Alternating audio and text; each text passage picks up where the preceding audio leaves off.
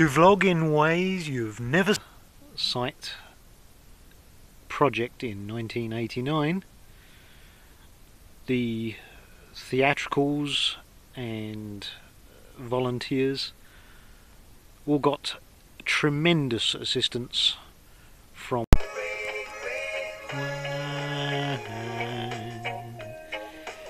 Stay close to me. It is 20 past 9 on this Monday morning, the 7th of March. Uh, quite spring Yes, it is.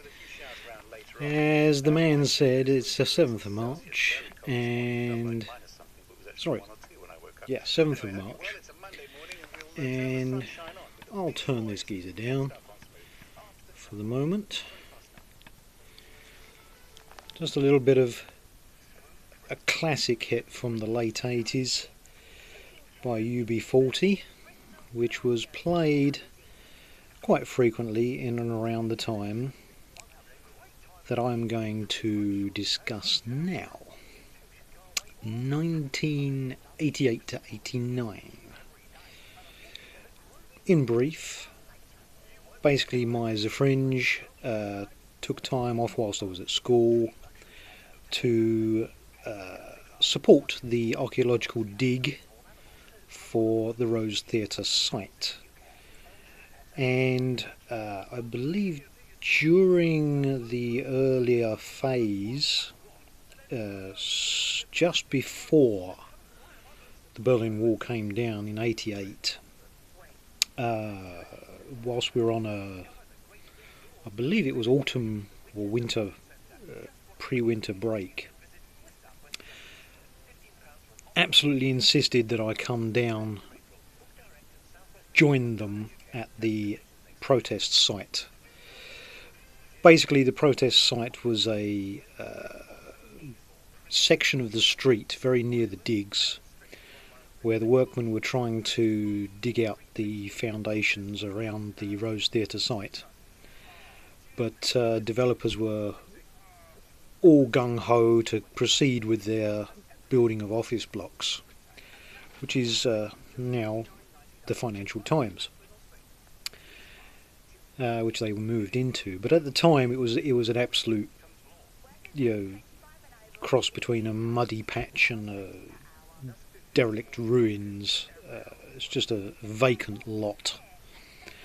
Uh, and the uh, protests, uh, protest uh, Save the Rose Theatre campaign site was basically a group of cardboard boxes uh, one side of the adjacent road, which was severely dusty from the lorries passing by during the day and extremely cold at night.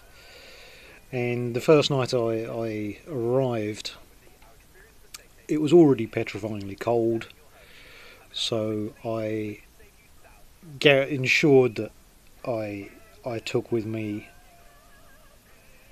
clothing appropriate, basically the thickest Arctic weight, uh, manageable hooded, uh, dark, sort of like cagoule sort of uh,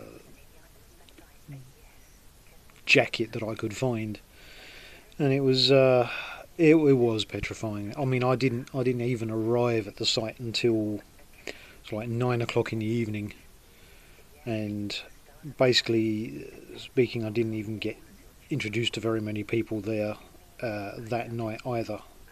It was literally the first day I, day I'd been there. Uh, a Fringe was uh, okay, discussing various other things with uh, other people. Had to go uh,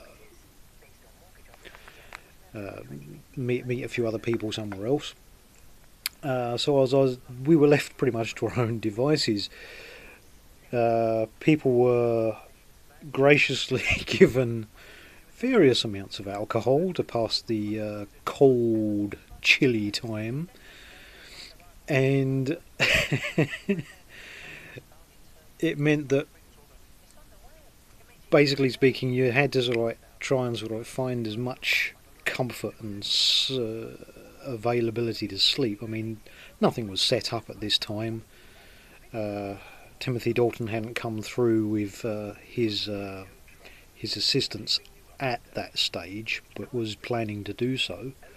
So, basically speaking, the whole thing was arranged around uh, an adjacent, slightly slightly protected wind from the wind area, cardboard boxes and the like, and uh, a table to sleep behind. um, otherwise, you just had a collection of chairs, uh, and luckily we had a, a bonfire in a in a trash can, an old old style trash can, which were you know a bit like scenes from an early Rocky movie, um, where people just you know warm their hands around. So whilst uh, everyone was uh, very you know, jovial and keeping the spirits up, uh, having a few glasses of Chardonnay, a bit of port was available. I was handed a bottle of Southern Comfort, which uh, went down very well. And basically speaking, I saw saw there was absolutely no room for me other than the big high chair.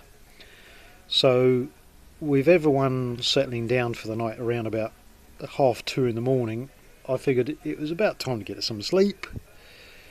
So I grabbed the high chair, set it up within two and a half feet of the uh, of the blazing trash can, and with the Southern, Southern Comfort bottle, you know, resting snug on my lap after a, a good few few drams, I uh, I managed to actually get some sleep.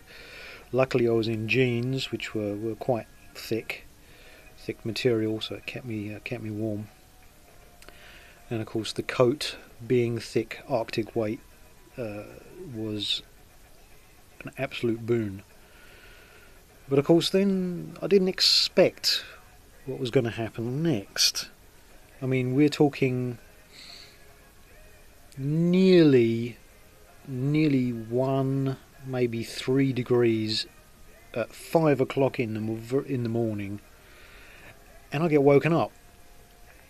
Um, it's still pitch black, and I, I just barely look through the hood of my coat, and I see this you know, wizened, wizened old features of a man uh, in a thick, uh, thick full-length coat, black. Is wearing a hat, and it's a wide brim hat. It's it's you know it's one of those it's one of those outrageously large wide brimmed black hats, and I'm thinking, uh, okay, hello. you know, in in my head, in my head, I'm not not able to say anything because I'm just barely awake. And I hear this voice, and it says, "Hello, would you like a cup of tea or something?" Uh, the words of that effect. And he, he's handing over to me an actual mug of tea at five o'clock in the morning. And I'm thinking to myself, I recognise that voice where do I recognise that voice from? Um, and of course, not having seen much of the, the individual in person before, I, I couldn't immediately place it. But I accept the cup of tea, uh, uh, thank him, uh, and I thoroughly enjoyed the cup of tea. And of course, it wasn't until later, when most of the others had woken up by about half seven in the morning, where I was able to ask them exactly who that was who woke me up with a cup of tea, and they say, "Oh, oh, you know who that was? That was that fantastic actor who's on today. Yes, Ian McKellen. Yes, he woke me up, and he's got a radio production on today." which I'm going to thoroughly enjoy, of the Aeneid. Seamus, Seamus Heaney's Aeneid. It's apparently on week, so I recommend you uh, tune in if you get the chance, or tune in late at night. Uh, it's on again at around 12:30 GMT, so like the following morning. Um, so it's on from the 7th, 8th, 9th, 10th and 11th. So if you don't get the chance to see uh, Radio 4 Extras uh, any of Radio 4 Extra's Sherlock Holmes. The Aeneid is the one to watch or listen to at the very least this week. Aha! That's my claim to fame, specifically with Ian McKellen, the one and only time we've met. Uh, uh, and of course, since then, I've uh, managed to catch a glimpse of him at the X Men premiere, uh, which is on on my YouTube channel. So have a look out for that. Lo, there was no egg on the mountaintop, just me. you gonna subscribe? And just to make sure, I'll have to take this on the end because this is where the credits roll. But we're also gonna mention this. Claudia? Yes, Claudia. My other Ghost Protocol claim to fame.